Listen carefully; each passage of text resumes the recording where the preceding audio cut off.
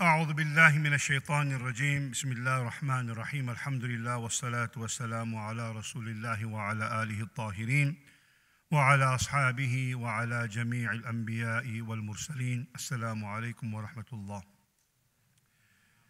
We know that at the time of the Prophet sallallahu alaihi wasallam, the sword was a device used to withstand the attacks of the enemies and also an instrument to defend oneself. And by the way, it could be the last instrument in your possession. And not only that, it may be your final companion if you die in battle. So, if anything is inscribed upon the sword of a person, and specifically if you have something inscribed at your request, then those words inscribed on that sword is extremely valuable to the person. In fact, it is most significant for that person.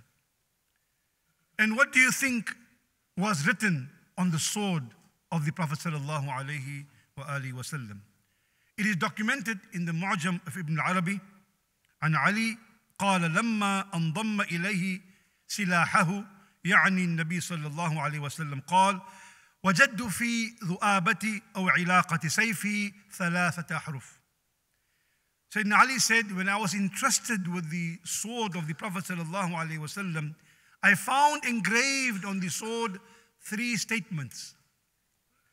صل من قطعك وقل الحق ولو على نفسك وأحسن إلى من أساء إليك. The three points are maintain relations with your relatives even if they cut off relations with you. Speak the truth even if it's against your own self. And be good even to those who are not good to you. This was inscribed on the sword of the Prophet sallallahu. So as we continue our theme for this Ramadan, Darus Amiqa min al-Sirat al-Nabawiyya, profound lessons from the life of our Prophet wasallam, we reflect on a teaching moment in the life of the Prophet wasallam that amalgamates the advice we find on the sword regarding maintaining family ties, being good to your relatives, and the example we are going to give encapsulates what was inscribed on the sword of the Prophet.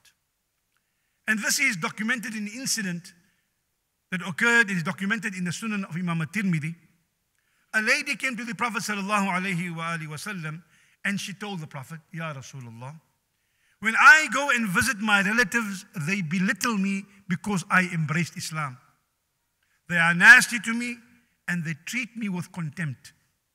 Ya Rasulullah, they are now coming to visit me.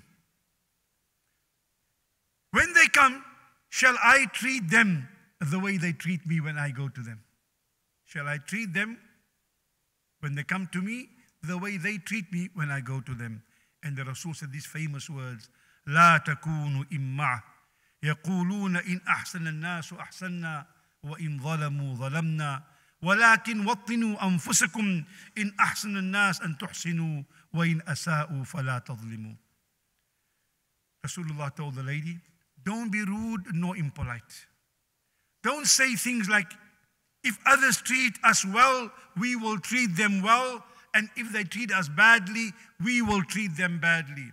Rather, condition yourself, accustom your, your nature in such a way that you do good to other people who do good to you and do not do wrong to those who do wrong to you. This heartwarming reply of the Prophet ﷺ reflects what was inscribed on his sword about relationship and about being good even to those who are not good to you.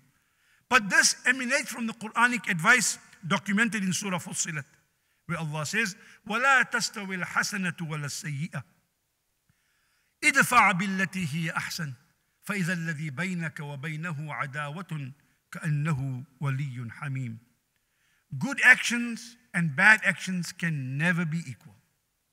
Rather, repel the wrong or the bad with something better.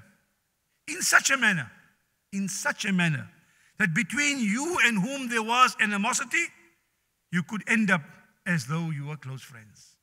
You see, the lesson in this for all of us be good to all, not only good to those who are good to you. Be good to your relatives, to your friends, to whoever, not because of how they treat you, but because the way you treat them is a reflection of your character. And displaying good character is the right thing to do, and the right thing to do is always the best thing to do. أقول قولي هذا وأستغفر الله والسلام عليكم ورحمة الله